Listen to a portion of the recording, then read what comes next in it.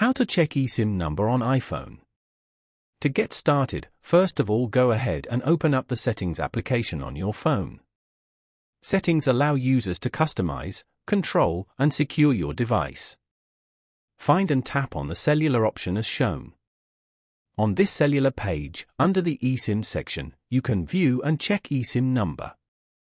Now, go back to the settings page to find and tap on General. Inside the General menu, tap on About at the very top. Scroll down to the About page.